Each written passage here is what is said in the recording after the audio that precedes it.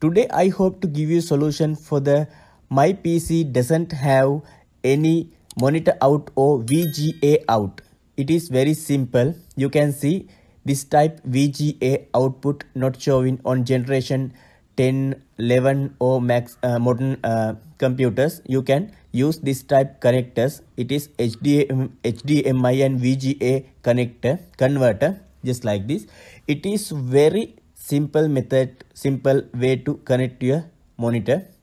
You can see this type of uh, output or input just like this. It is very simple. You can connect it just like this using rotating nails.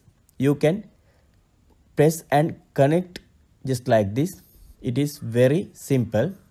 Now you can connect HDMI cable just like this. It is HDMI output you can connect your monitor using HDMI output. After completion of that, I hope to turn on uh, monitor and computer.